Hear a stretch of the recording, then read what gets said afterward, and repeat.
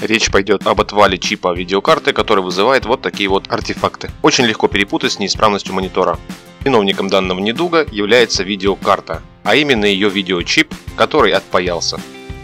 У меня есть еще несколько видеокарт с таким недугом, и на вопрос, можно ли их отремонтировать в домашних условиях, отвечу, что скорее всего нет. На самом деле их можно отремонтировать, но ненадолго, что нам в принципе не подходит. Можно, конечно, сделать реболлинг видеочипа у профессионала, у специалиста, но на самом деле это не стоит того. Как видите, видеокарты самые бюджетные. Давайте приведем наглядный пример и вставим в неисправную машину заведомо исправную видеокарточку.